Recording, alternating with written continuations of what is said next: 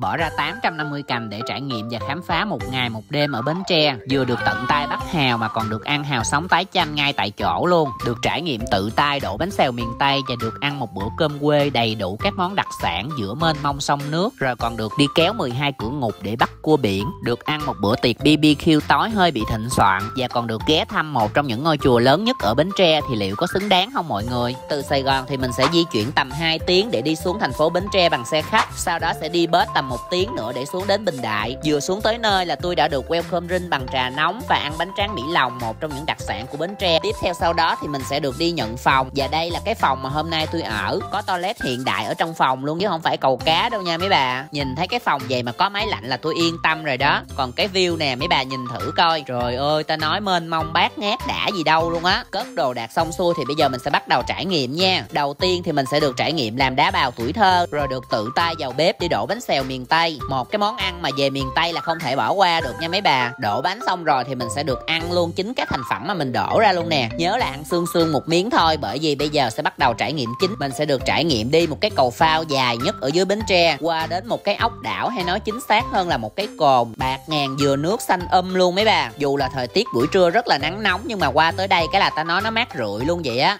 Và đây cũng chính là nơi mà tụi tôi sẽ ăn trưa ngày hôm nay nha. Chỗ mà tụi tôi ăn trưa sẽ là mấy cái trò như vậy nè mấy bà view nhìn thẳng ra sông. Ta nói gió nó thổi lồng lộng, mát gì đâu luôn. Thực đơn buổi trưa ngày hôm nay mình sẽ có thịt tôm luộc, cuốn bánh tráng, trứng chiên với tôm, cá bóng kho khô tiêu. Và đặc biệt là cơm mình ăn sẽ là cơm lúa mùa 6 tháng. Cái màu nó sẽ hơi đỏ đỏ như vậy, chứ không có giống như là gạo trắng bình thường. Ăn uống xong xuôi thì mình sẽ nghỉ trưa một xíu, tầm khoảng 2 hoặc 3 giờ mình sẽ được chở ra vuông để bắt cua. Bắt cua này á thì nó hên xui, nhiều khi có mà nhiều khi nó cũng không có nữa mấy bà. Nhưng mà trải nghiệm bắt hào này thì chắc chắn là mình sẽ bắt được nha ta nói là được trực tiếp lặn ngập mò mẫm rồi bắt hào á, nó vui gì đâu luôn á. Hồi nào giờ ăn hào thì nhiều rồi, nhưng mà đây là lần đầu tiên tôi trực tiếp tự bắt cái con này luôn. Yên tâm là sau khi bắt xong thì sẽ có nhân viên ngồi ở đây và tách hào cho mình ăn trực tiếp tại chỗ luôn. Trời ơi, mấy bà coi nè, con hào, con nào, con nấy, nó béo ú luôn vậy á. Dắt một miếng chanh để tái cho nó một xíu, rồi mình sẽ chan cái nước sốt hải sản này lên húp một cái rột. Trời ơi ta nói nó béo ngậy đúng đã luôn á mấy bà. Bây giờ mà coi lại clip tôi còn thèm á. Trải nghiệm bắt hào xong thì cũng là lúc mặt trời đổ bóng. Mấy bà có thể ngồi dở lại để check in ngắm hoàng hôn như vậy cũng hơi bị chiêu luôn. Tiếp theo thì dở lại sẽ chở mình qua cái khu để mà mò nghêu. Qua tới đây thì mới đúng là về bến tre luôn nè mấy bà. Tại vì cái con nghêu với con vợp này á, nó sống ở dưới bùn, cho nên khi mà lội xuống mò á, cái chân chạm dưới bùn, bà nào mà không quen chắc cảm giác sẽ hơi sợ sợ một xíu.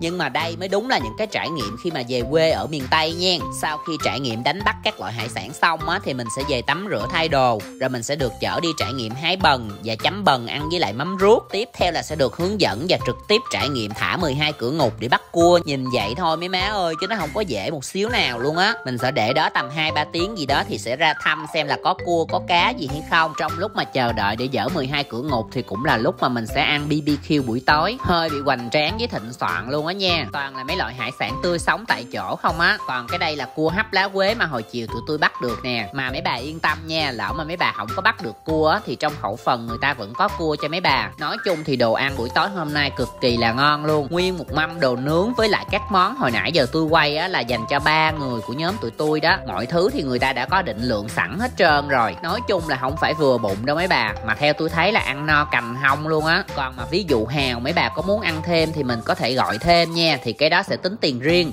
ăn uống no nê xong rồi, nếu mà còn sức thì có thể ngồi hát karaoke rồi đốt lửa trại các thứ. Xong xuôi thì tầm 10 giờ đêm mình sẽ đi kéo cửa ngục để coi có cua, có cá gì hay không. Mà xui cái là bữa đó tôi kéo không có, nên thành ra là thả xuống và đợi tới sáng hôm sau thì nó có nè mấy bà. Chắc là do mình thả không đúng cách á. Hồi tối để cho mấy anh đặt lại thì sáng kéo ra, trời ơi, ta nói nhìn mấy con cua mà thèm, mà đã, mà thích gì đâu luôn á. Nhưng mà mấy bà cũng phải cẩn thận một xíu nha, chứ nhìn thấy con cua vậy á, nó kẹp một cái là ta nói bỏ càng luôn á. Sáng ngày hôm sau thì trong lúc chờ đồ ăn sáng thì mình có thể đi dạo lanh quanh để check in chụp ảnh đồ các thứ. Nói chung là nó cũng đơn giản, kiểu miền tây sông nước thôi. Ê, mà nhất định là nhớ ăn cái mì gói này nha mấy bà. Tôm thì vừa tươi vừa ngọt, còn cái nước mì ta nói nó ngon lắm. Ăn uống xong rồi thì tôi sẽ check out trả phòng, rồi di chuyển đến tham quan chùa Dạng Phước cách đó tầm một cây số. Đây có thể xem là ngôi chùa lớn nhất ở Bến Tre thời điểm hiện tại luôn á mấy bà. Không biết có linh ứng hay không, nhưng mà cứ mỗi lần vào chùa là tôi cảm thấy nhẹ nhàng, tịnh tâm dữ lắm. Nên là sẵn tiện cầu bình an với mọi việc suôn sẻ luôn. Trải nghiệm một ngày, một đêm ở Bến Tre của tôi, vậy là xong rồi đó. Và chỗ tôi đi đợt này là khu du lịch sinh thái người giữ rừng. Có gì mấy bà tham khảo thử nha.